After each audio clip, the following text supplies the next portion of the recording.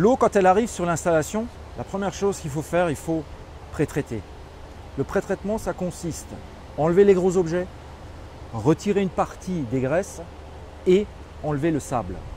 Pour retirer ces gros objets, on utilise un dégrilleur. L'eau traverse une grille et les déchets restent collés devant la grille. Ces déchets seront ensuite convoyés et compactés. Les graisses, elles, vont flotter naturellement.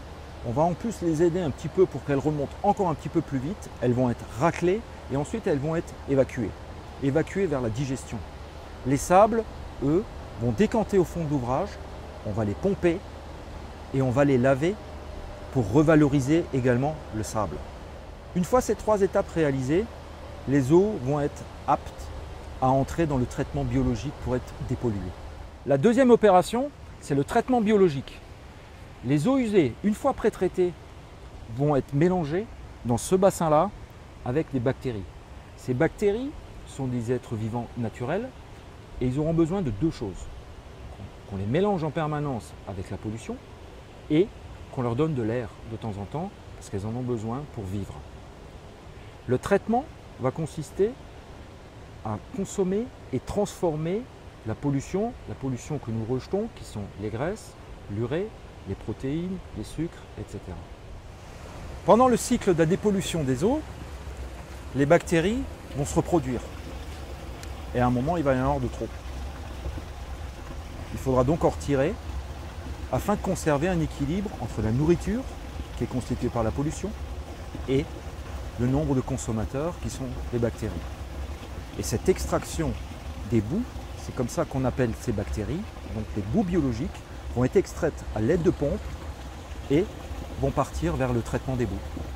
Après un séjour de quelques jours dans le bassin d'aération, le mélange des eaux et des boues, les eaux traitées, va être dirigé gravitairement vers le clarificateur.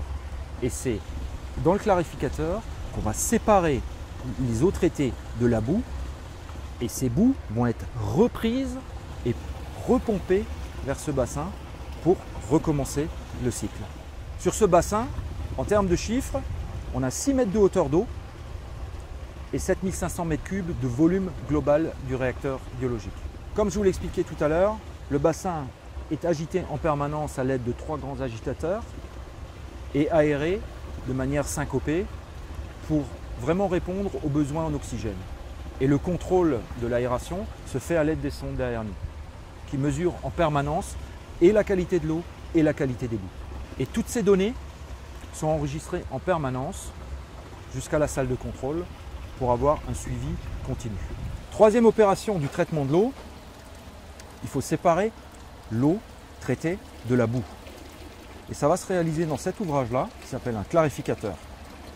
Les boues sont naturellement un peu plus lourdes que l'eau, donc en fait, elles vont décanter. On va les retrouver dans le fond de l'ouvrage, et depuis le fond de l'ouvrage, elles vont être repompées vers le réacteur biologique pour recommencer un cycle.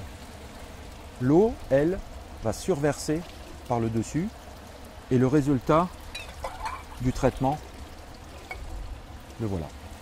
Chaque ligne de traitement a son réacteur biologique, mais également son clarificateur de 4500 m3 chacun.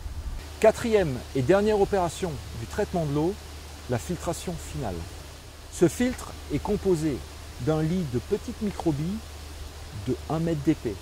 Les eaux arrivent par le bas, traversent le lit et surversent par le dessus. Ce procédé s'appelle le filtrasure. Pour le site, il est composé de 5 cellules indépendantes qui fonctionnent en parallèle les unes des autres. L'autre particularité de ce procédé est qu'il ne nécessite pas d'énergie. Les eaux sont entièrement traitées et les billes sont lavées gravitairement. Dernière opération, les eaux sont prélevées et comptabilisées avant le rejet à la rivière.